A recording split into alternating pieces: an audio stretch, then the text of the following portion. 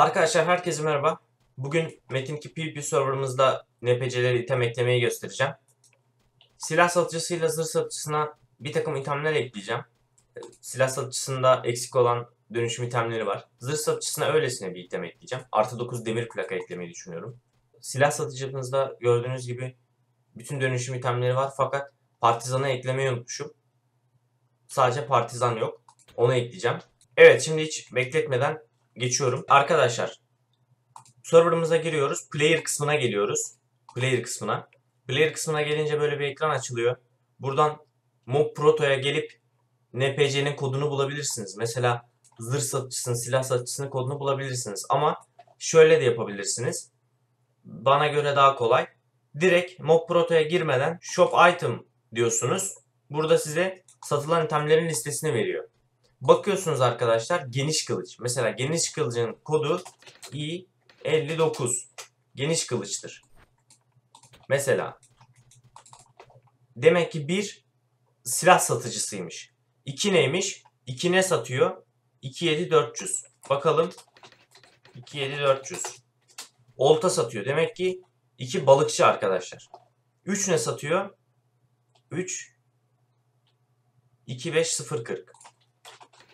25040. Kutsama kağıdı satıyor. Bizim kutsama kağıdımızı satıcı satıyor arkadaşlar. Demek ki bu satıcıymış. 4'e gelelim. 4 ne satıyor? 11209. 11209. Zırh satıcısı arkadaşlar. Ya bu şekilde çok daha kolay bulabilirsiniz. Boşuna Mob Proto'ya girmenize gerek yok. İtemin kodundan direkt çekebilirsiniz. İtemin kodunu buradan da aratabilirsiniz arkadaşlar.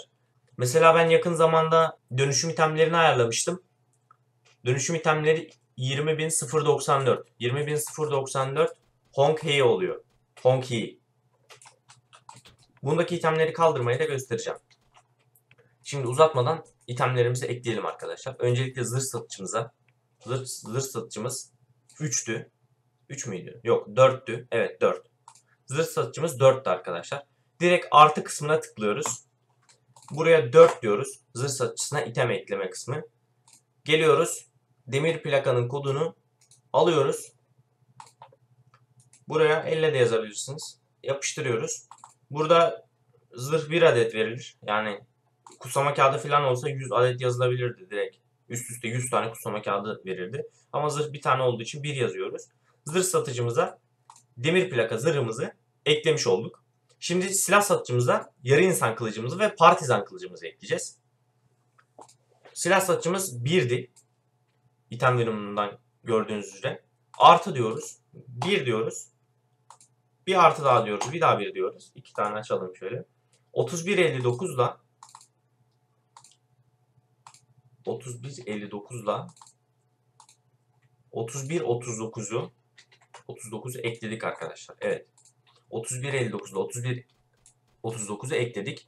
Yani bu ne demek? Burada eksik olan partizanla yarı insan kılıcı buraya eklenecek demek. Ama ne zaman? Reboot'tan sonra. Reboot'u da birazdan atacağım. Ee, reboot attığım kısımları hızlıca geçeceğim. Çünkü reboot'ta bir 3-4 dakika bekleme oluyor. Ee, onun dışında şöyle bir şey yapalım. İtem silmeyi de göstereyim. Ben şuraya fazladan çok fazla item ekledim arkadaşlar. Gördüğünüz gibi. Ee, bu yani 10 tane var, bir tane var, 10 tane var, bir tane var. Bunlar çok sinirimi bozdu benim. Bir de görüntü açısından kötü duruyor. Bu mobun kodu 20.094 arkadaşlar. Şöyle de göstereyim. 20.094 Honki'yi çağırır direkt. Şimdi tıklıyoruz. Evet Yakut oyma bıçağından başlıyor. Zaten kod olarak görebilirsiniz böyle tekrarlayan kodları. Onları tek tek sileceğiz. Yakut oyma bıçağı 30.500'den bir tane var bir de 5 tane var. 30.500'den bir tane olanı siliyoruz. 30.502'den bir tane var siliyoruz. 30.503'ten tamam bir tane. 30.504, 30.505'ten bir tane var siliyoruz. Fazlalıkları siliyoruz arkadaşlar şu an. 13, 14, 15, 15'ten 2 tane var. Bu itemlerin fiyatlarını ayarlamayı falan da hepsini sonraki videolarımda göstereceğim arkadaşlar. Bütün fazlalıkları kaldırdık galiba. 7031, 51, 52, 53, 54. Evet. Bütün fazlalıkları kaldırdık arkadaşlar. Fazla bekletmeden serverımıza bir reboot atalım. serverımıza reboot atmak için. Server sizinse direkt VirtualBox'tan reboot atabilirsiniz. PuTTY'den de atabilirsiniz. Ben buraya ID'mi şifremi yazıyorum. Reboot diyorum. Videoyu burada kesiyorum arkadaşlar. Reboot'tan sonra başlatacağım. Evet serverımıza giriş yapmayı deniyoruz. Evet sunucuya başarılı bir şekilde giriş yapabildik arkadaşlar. Şimdi bakalım oyunda yaptığımız değişiklikler kaydolmuş mu? Öncelikle fazlalık itemler kaldırılmış mı? Silmiş miyiz ona bakalım. Evet hepsinden bir tane var. Ee, fakat bir tanesinde hata yapmışız. Normalde bunları onar onar satıyor. Fakat bir tanesinde birer birer satıyor. Yani şöyle göstereyim. 20.094. Bu 10 olan kısımdan bir tanesi 1 olmuş. O yüzden bu sadece tekli satıyor mavi ejderha çeliği. Neyse sıkıntı yok. Zaten satın alan böyle de alır. 5 tane tak tak tak diye alır yapar yine. Evet önemli olan zırh satıcımız, silah satıcımız. Zırh satıcımıza bakıyoruz. Artı 9 demir plakamız gelmiş arkadaşlar. Ekledik gelmiş.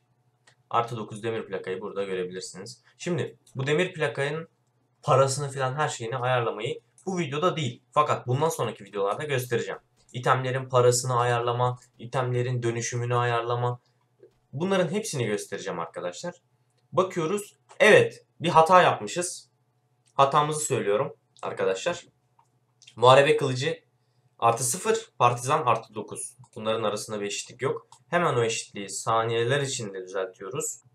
Evet sağ tıklayıp refresh dedikten sonra bütün kodlarımız burada gözüktü arkadaşlar. Yaptığımız hatayı hemen düzeltiyoruz. 31.59 ile 31.39'u ekledik. Fakat artı 9 olarak eklemişiz arkadaşlar. Bunları hemen şöyle 31.39'u 31.30 yapıyoruz. 31.59'u da 31.50 yapıyoruz. Şöyle bir deneyelim. İyi 31.30 bakalım artı 0 partizanımızı verdi. 31.50 artı 0 yarı insanımızı verdi arkadaşlar. Evet reboot attıktan sonra bu yine düzelecek. Yaptığımız hatayı telafi ettik. Şimdi şöyle bir daha bakalım. Göz gezdirelim. Buradaki değerlerin tekrar kendine gelmesi için sağ tıklayıp refresh diyebilirsiniz arkadaşlar.